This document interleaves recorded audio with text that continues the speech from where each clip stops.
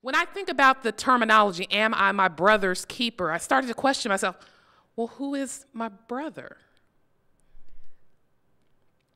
Is my brother someone that is related to me biologically? Is my brother someone who fellowships with me? Or does that expand out into the community? Well, as I was reflecting on this particular topic, I too got involved with the committee that's planning the upcoming Martin Luther King celebration for the university in January. And uh, the gentleman that we were talking with uh, around the community brought in Dr. King's letter from a Birmingham jail. Hadn't read that in a long time. And so we read a portion of it, and there was a quote that stuck out in there to me. And I'm going to use that particular quote. And in that context is where I'd like to start our discussion tonight on Am I My Brother's Keeper? Now, Dr. King was being jailed because he had gone down to Birmingham from Atlanta to help out. Uh, they were in distress. There was a lot of injustice taking place, if you will. And so Dr. King was called upon to come down and lend his brothers in Alabama a hand. And he was jailed. And so while he was imprisoned, he penned a letter to his captors, if you will, that is 10 pages long, so I won't read the whole thing, but just a quote. And in it, um, he said to them as they questioned, Why are you here? Why did you come from Atlanta to Birmingham? He said, Because I am cognizant of the interrelatedness of all communities and states. I cannot sit idly by in Atlanta and not be concerned about what happens in Birmingham. Injustice anywhere is a threat to justice everywhere.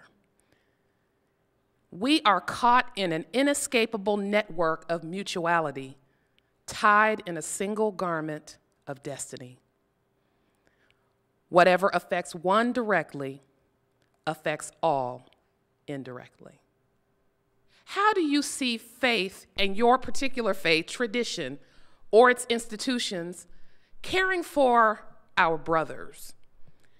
We're going to use that to go around the room and start a discussion. But prior to that, we had two brave students, the co presidents of the Interfaith Council, to already prepare a response to our question of the evening. So I'd like to ask Jordan and Amir to come up, please. And if you would share with us what you will all pull together based on this question, and then we'll build off of what you said. Come on up.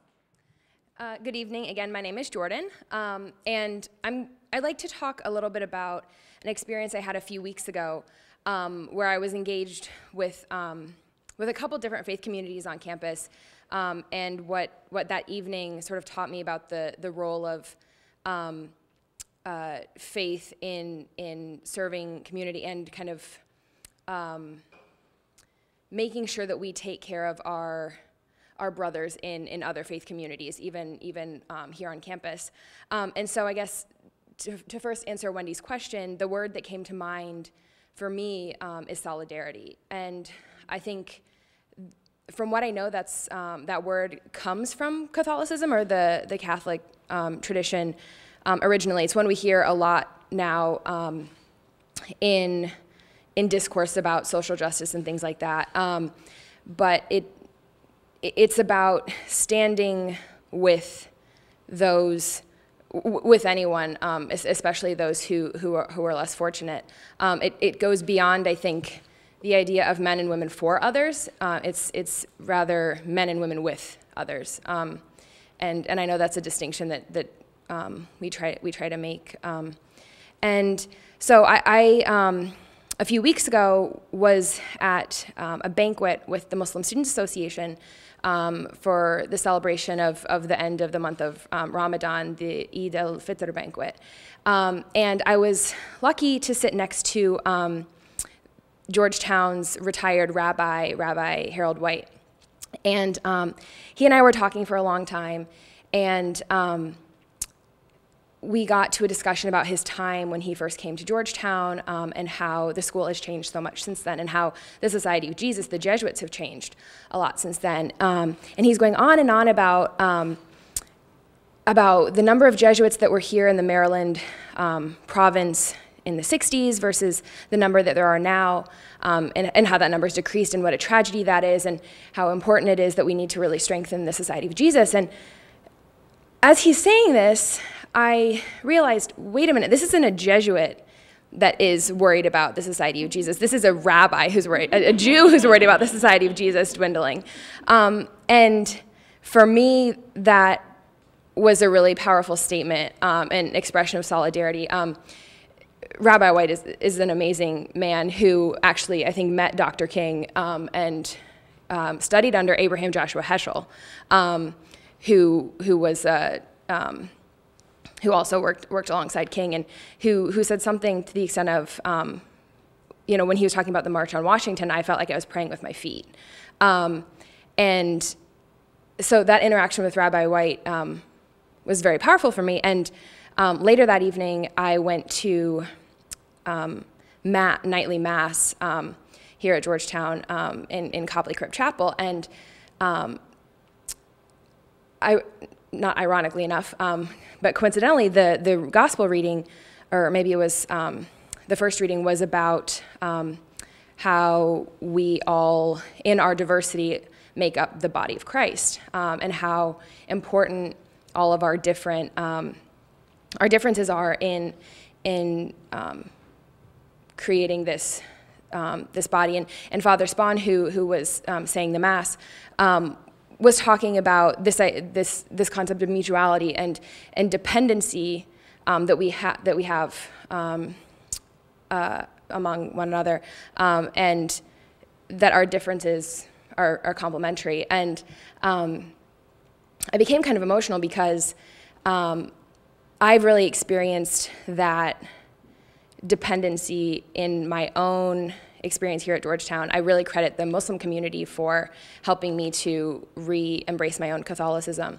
Um, and so thinking about the fact that the Muslim students on the other side of the, the wall in, in Copley, so in Copley you've got the, the chapel and literally next door um, is the Muslim prayer room. Um, and at 10 p.m. the Muslims are always in there praying. And sometimes I can hear um, the call to prayer through the wall. Um, and so for me, realizing how much I owed the Muslim community for the fact that I was sitting in mass um, was really was powerful. Um, and so for me, that, that whole evening um, spoke to, to the importance of just up, the fact that we have to be our brother's keeper here on campus. Um, and I'll leave you with one other short um, anecdote from that evening.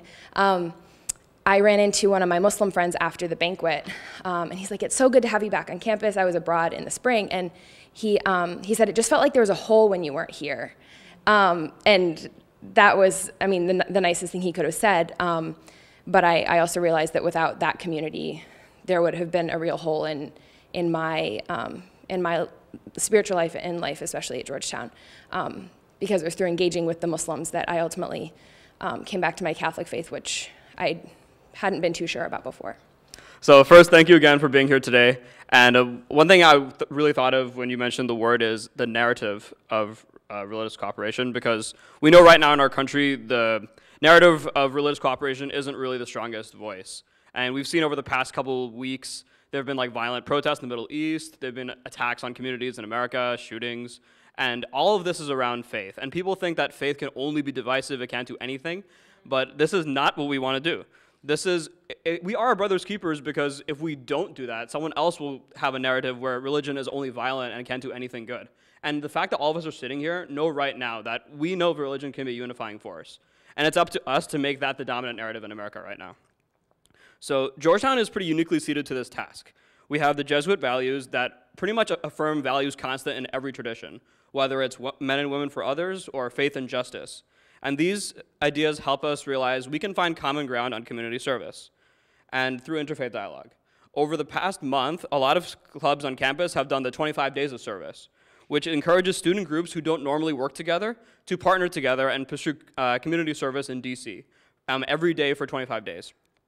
And a large number of people um, are participating in the Interfaith Council's dialogue program, which De Jesse coordinates.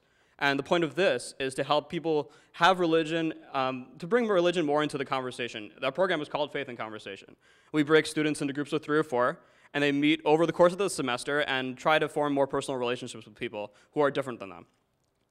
And one thing that you'll notice also is that you'll see the same people coming to all of our events. And uh, we definitely noticed this last year. And people will criticize us saying that interfaith cooperation only preaches to the choir. Interfaith is a niche activity, it'll never have mainstream appeal, and is too divisive to have any positive impact. And to these people, I say, look at a case study of Georgetown.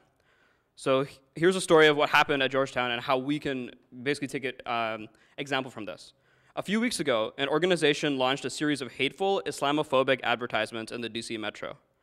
In response, Georgetown students of many faiths have begun a large campaign to counter Islamophobia in general, not just in DC, but for the whole nation.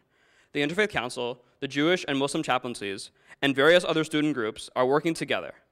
Georgetown students have designed their own advertisements to distribute in the DC metro, which promote peace and tolerance.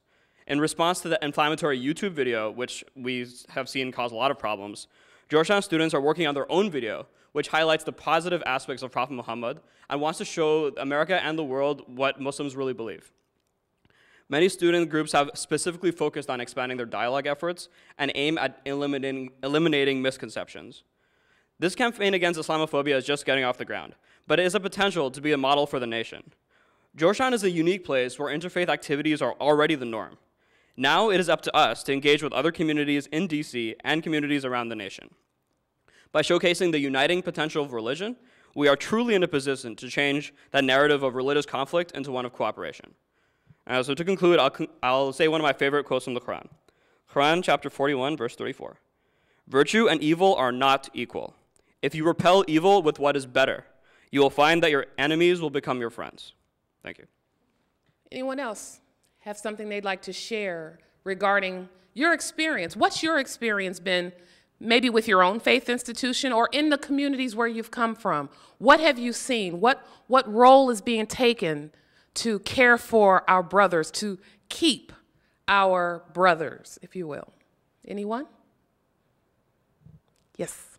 Well, as I mentioned before, I was I was agnostic, and I believed that there was some sort of higher power, but not necessarily uh, believed that Jesus was the Son of God and things like that. But um, a couple of my friends are Christian, and so I decided to uh, just go go to a Bible study, and just to you know learn a little bit more about what it what Christianity really was, what religion was since a lot of what I saw in the, in the media and a lot of what I read, it's always saying, you know, religion does all these bad things. Mm-hmm. And so I was, um, you know, I had a skewed kind of prejudice. Mm-hmm. And so I wanted to, to actually understand and learn what was the truth.